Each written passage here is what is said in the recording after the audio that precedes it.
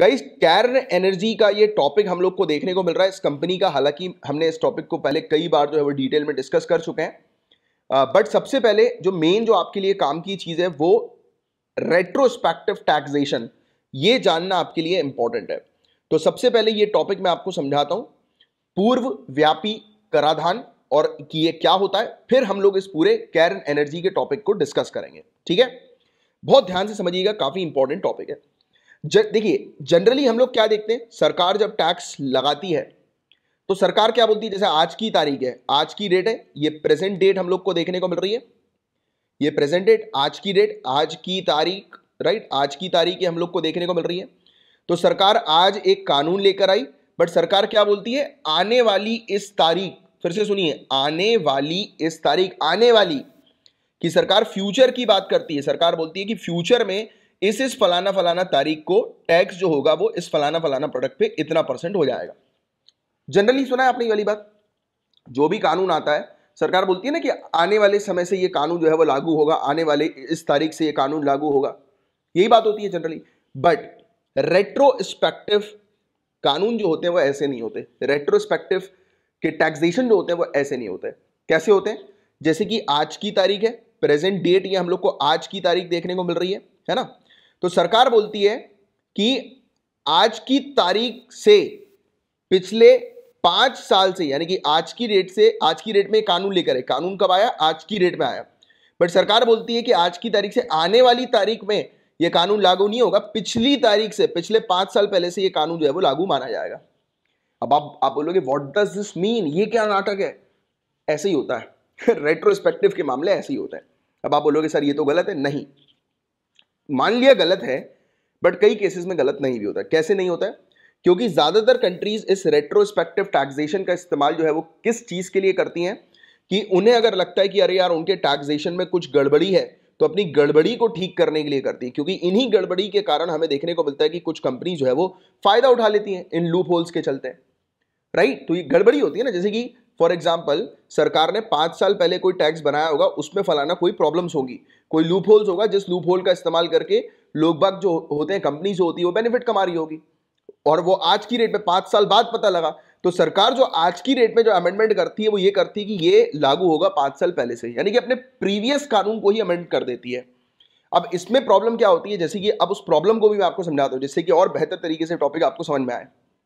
Problem ये होती है, देखिए, अगर टैक्स हम लोग को देखने को मिल रहा है कि एक व्यक्ति ने एक फलाना एक्स प्रोडक्ट सरकार ने बोला कि एक्स प्रोडक्ट पर हम टैक्स जो है वो दस परसेंट का लगाएँगे चार्ज करेंगे। ठीक है? अब सरकार को ये बीस परसेंट करना था बट गलती से मैंने मान लिया कि फिगर में गलती होगी, दो की जगह एक डल गया तो वो दस परसेंट हो गया। और फिर जब सरकार ने बाद में जाकर पाँच साल बाद रिव्यू किया, तब सरकार को लगा, अरे यार, ये तो बीस परसेंट होना चाहिए तो दस कैसे हो गया? सरकार ने बोला, हम चेंज कर रहे हैं, अब इसको बीस परसेंट माना जाएगा। मतलब कि पिछले फाइव ईयर्स में जिन भी लोगों ने इस पर्टिकुलर एक्स के प्रोडक्ट पर टैक्स जो है वो दस परसेंट दिया होगा। अब उन सभी लोगों को एक्स्ट्रा यानी कि आने वाले साल में आने वाले फाइनेंशियल ईयर में इस पुराने पिछले साल का जो बैलेंस है वो पे करना पड़ेगा। यानी कि इसका इंटू टू कर दो आप। राइट दस परसेंट का डबल है ना? तो अब उनको बीस परसेंट पे करना पड़ेगा सभी को। जितना टैक्स उन्होंने पिछले पाँच साल में पे किया था उसका मल्टीप्लाई कर दो टू से या, या फिर ट्वेंटी परसेंट तो ये मैं सिर्फ़ एग्ज़ाम्पल दे रहा हूँ ऐसा कुछ नहीं है। ये अलग अलग टाइप के होते हैं बट आपको समझाने के लिए कि सरकार इस प्रकार से पुरानी चीज़ें चेंज कर देती है और इसकी लाइबिलिटी उन्हीं लोगों पर आती है जिन्होंने ऑलरेडी इस चीज़ को यूज़ किया होता है। नेक्स्ट फाइनेंशियल ईयर में राइट सेम चीज़ हुआ है। अभी ये जो घटना जो घटी थी, ये घटना हमें देखने को मिली थी कि कैर्न एनर्जी करके एक कंपनी के साथ जो है वो घटी थी। ये हाईलाइट हुई थी। ऐसे तो काफ़ी सारी कंपनीज़ के केसेस हैं बट ये इंटरनेशनल मामला जो है वो चला गया था तो इसलिए अभी मैं आपको उस मामले के बारे में भी बताऊँगा, जिससे कि ये रेट्रोस्पेक्टिव टैक्सेशन का टॉपिक आपको अच्छे से समझ में आ रहा है। अब मैं उम्मीद करता हूँ रेट्रोस्पेक्टिव टैक्सेशन का टॉपिक तो आपको क्लियर हो ही गया होगा।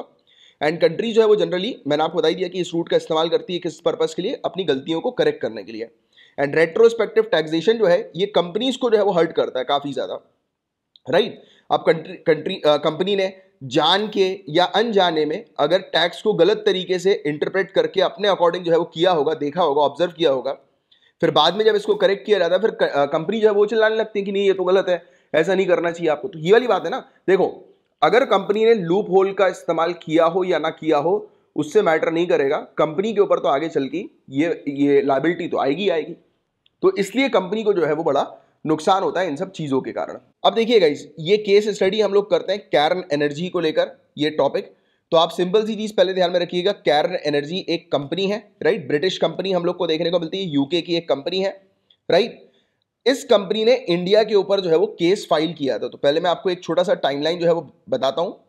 2012 का रेट्रोस्पेक्टिव टैक्स लॉ इसका यूज़ जो है वो इंडिया ने किया था, इस कंपनी के अगेंस्ट कैरन एनर्जी के अगेंस्ट तो कैरन एनर्जी ने इंडियन गवर्नमेंट को चैलेंज किया कि इंडिया जो है वो इस कंपनी से, हम लोग जो है कैरन से टैक्सेस जो है वो ले रहे हैं राइट और 2012 के रेट्रोस्पेक्टिव टैक्स लॉ को लाकर हम इस पर्टिकुलर कंपनी से टैक्सेस जो है वो चार्ज कर रहे हैं।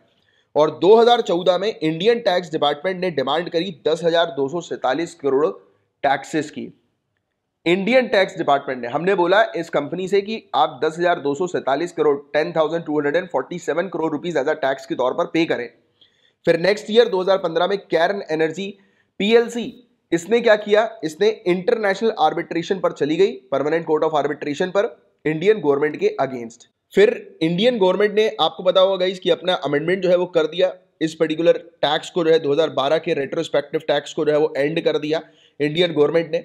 और कहा कि कैर्न से एकत्र किए गए सात हज़ार नौ सौ करोड़ रुपीस ये वापसी जो है वो इनको दे दी जाए। इनको रिटर्न जो है वो कर दिया जाए।